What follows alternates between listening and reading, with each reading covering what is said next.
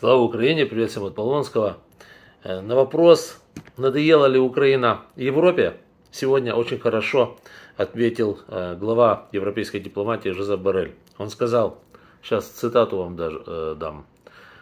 ЕС не только будет продолжать поддерживать Украину, но и продолжать будет продолжать, но и продолжит увеличивать поддержку. То есть мы получать будем оружие и материальной помощи и финансовой помощи больше и больше и больше. Действительно, Евросоюз богатый. Он куда богаче этой несчастной, затюканной э, расистов этой России, это, которая на самом деле Московия. Мы прекрасно знаем, что Россия это ворованное имя.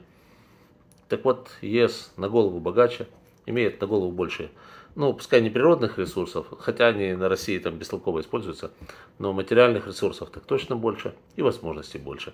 И, соответственно, э, размер помощи Украине будет только увеличиваться. Об этом он и сказал сегодня по завершению встречи министров иностранных дел Евросоюза. То есть это он сказал не от своего имени, а от имени всех министров.